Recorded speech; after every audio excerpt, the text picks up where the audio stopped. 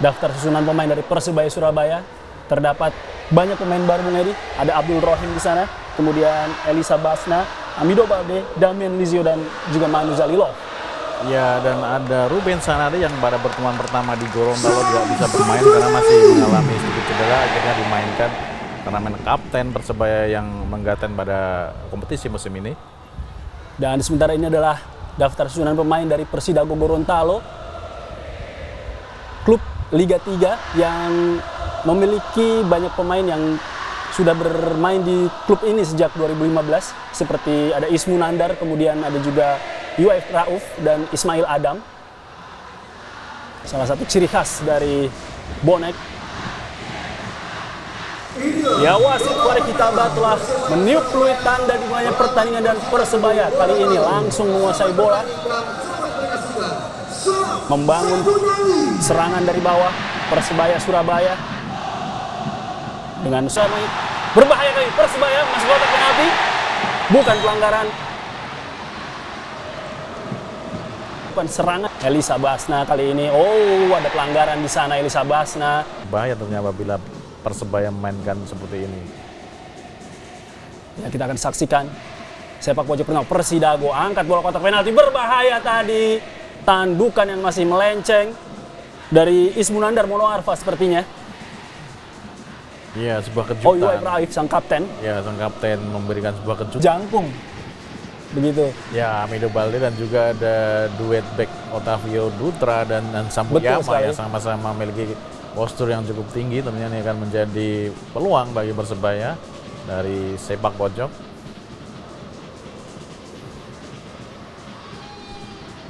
Ambil ancang-ancang tadi Ruben Sanadi. Kita saksikan apa yang terjadi berbahaya tadi. Dapat ditinju saja. Masih dari kotak penalti. Dibuang lagi-lagi tidak mau ambil risk. Peluang dari Persebaya. Novan Setia Sasongko kali ini masih kuasai bola Novan Setia Sasongko. Sebuah crossing kita saksikan berbahaya. Masih melenceng tadi tandukan dari Manu Zalilov. Menerima sebuah umpan crossing dari Novan Sasongko. Kita lihat bagaimana tandukannya. Namun sayang arahnya masih belum akurat. Sempat mem Umpan kepada Amido Balde berbahaya Amido Balde dan gol! Amido Amido Amido Balde.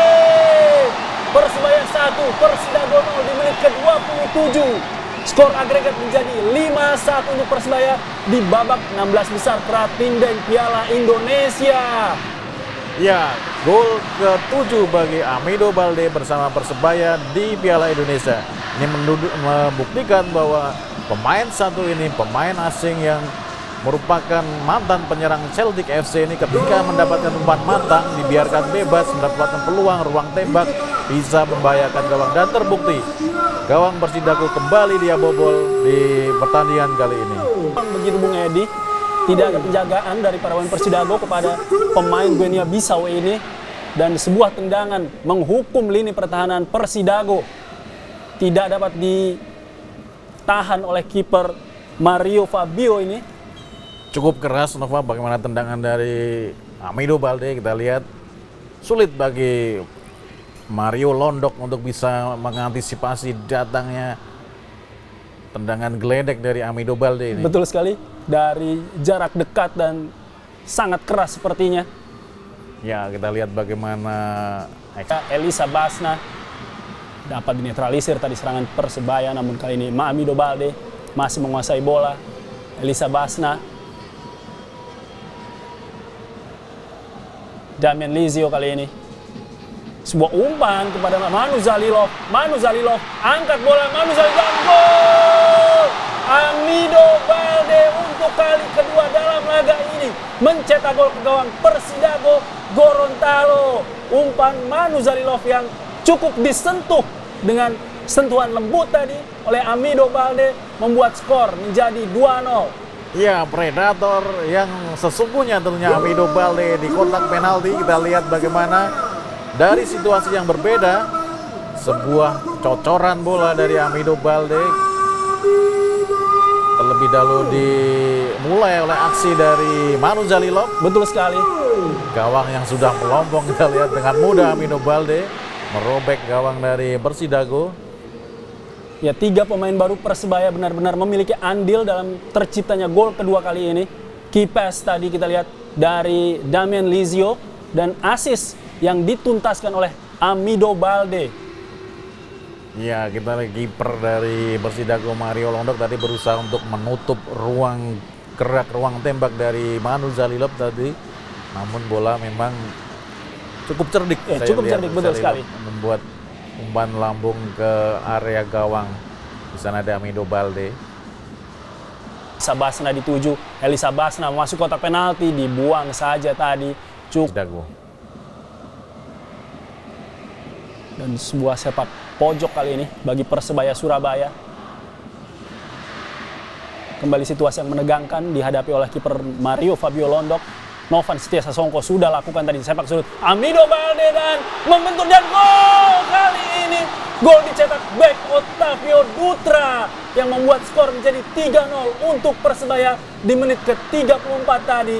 Memanfaatkan bola liar yang disundul oleh Amido Balde membentur tiang dan penyelesaian akhir yang tenang dari Otavio Dutra.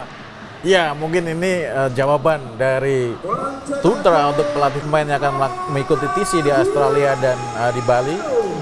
Mencetak gol.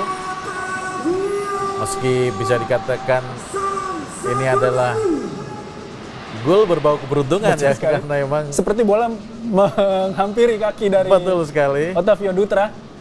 Namun gol tetaplah gol ini menandakan bahwa posisi dia berada di yang sangat tepat. Seorang back yang memang ketika dibutuhkan bisa menjadi eh, pencetak gol. Tentunya sangat diharapkan bagaimana ketika Dutra bisa bermain untuk timnas Indonesia dan akan sangat menarik untuk menerima hukuman dari wasit Farid Hitaba. Dan kali ini lagi-lagi peluang bagi Persebaya. Tendangan bebas Damian Lizio angkat bola kotak penalti. Berbahaya datang dari belakang dan gol! 4-0 Persebaya di menit ke-37. Hansamu Yama Pranata melengkapi gol dari Otavio Dutra berikan sebuah sodoran bola dan dari belakang Hansa Muyama menjangkau bola dengan sundulan yang sangat tajam. Kita lihat bagaimana bola sempat membentur tiang gawang bagian dalam, kemudian merobek jala gawang Persidago. Ya. 4-0. Betul sekali. Penampilan yang betul-betul terengginas dari Persebaya Surabaya. Mereka mengulang kemenangan besar. Dan kali ini sebuah peluang lagi-lagi. Persebaya, oh tendangan yang tidak akurat tadi. Jatuh tadi kita saksikan. Damian Lizio kali ini Damian Lizio tidak offside. Damian Lizio, Damian Lizio dan gol! Damian Emmanuel Lizio. Gol debut di laga debut bagi pemain asal Bolivia. Membuat Persebaya semakin jauh meninggalkan Persidago. Skor 5-0 di menit 45. Ya, sebuah penampilan yang impresif dari Damian Lisio. Bagaimana tadi dia berkali-kali memberikan umpan-umpan yang akurat dan kali ini dia mencatatkan namanya di papan skor. Sebuah saya rasa ini jebakan offset yang gagal ya Bung Nova. Terbebas tadi dan sebuah boom sontekan kecil dari Damian Lisio.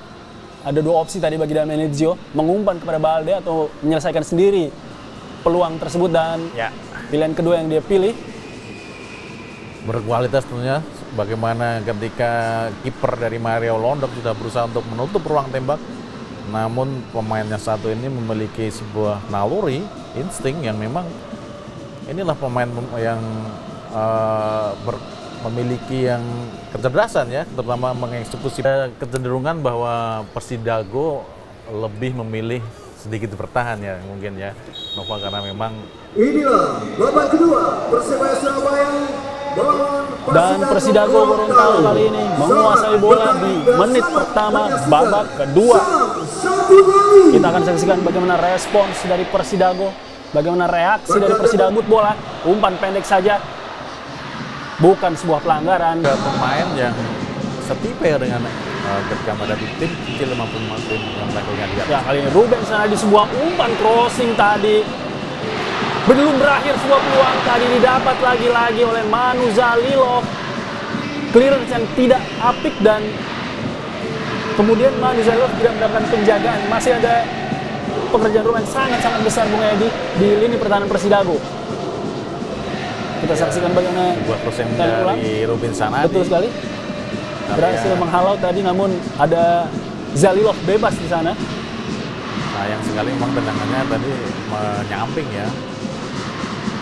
Zalilov juga mencetak satu gol ketika Cetak gol bukan tidak mungkin. Manu Zalilov juga ingin mencetak gol di laga kali ini. Sementara Ali selamat kali ini. Umpan kiri ada Ruben Sanadi. Oh. Damian Nizio kali ini. Sebuah crossing. Dapat dijangkau oleh Amido Balde. Namun pemain asal Genia Bissau ini tidak mampu mengarahkan bola ke gawang Persidago Gorontalo. hampir saja mencetak hat-trick Amido Balde kita lihat dari umpan dari Damian Lisio sangat terukur bebas bagaimana pemain-pemain dari Persidago tidak memberikan covering ya udah kepada Amido Balde cetak gol bukan tidak mungkin. Manu Zalilov juga ingin mencetak gol di laga kali ini. Sementara Ali selamat kali ini. Umpan kiri ada Ruben Sanadi. Oh. Damian Nizio kali ini. Sebuah crossing. Dapat dijangkau oleh Amido Balde. Namun pemain asal Genia Bissau ini tidak mampu mengarahkan bola ke gawang Persidago Gorontalo. Hampir saja mencetak hat-trick. Amido Balde kita lihat dari umpan dari Damian Lisio sangat terukur bebas. Bagaimana pemain-pemain dari Persidago tidak memberikan covering ya kepada Amido Balde Dan kali ini Ruben Sanadi memberikan umpan kotak penalti. Amido Balde. Sontekan Amido Balde melambung dari gawang. Ya ini sebuah hal yang sangat riskan tentunya keputusan diambil oleh pemain-pemain Persidago bagaimana mereka terlalu bernafsu untuk menyerang. Dan ketika mendapat sebuah serangan balik kita lihat sangat berbahaya Amido Balde. Hampir saja gawang mereka dibobol keenam kalinya oleh pemain Persebaya Bali Ruben Sanadi crossing. Berbahaya kali ini situasi yang berbahaya dan gol Amido Amido Amido Balde hat trick di menit ke-56. Pemain asal Guinea Bissau mencetak gol yang ke-9 bagi Persebaya di Piala Indonesia. Ya ini adalah sebuah risiko yang harus lagi-lagi eh, dibayar mahal oleh pertahanan dari Persidago. Bagaimana ketika mereka memberikan ruang tidak menjaga ketat seorang Amido bobol gawang mereka untuk keenam kalinya. Persebaya 6 Persidago 0 sebuah hasil yang tentunya sangat eh, membanggakan ya bagi supporter mereka bonek yang hadir langsung di Stadion Bung Tomo ini. Sangat mudah sih kita lihat bagaimana Amido Balde.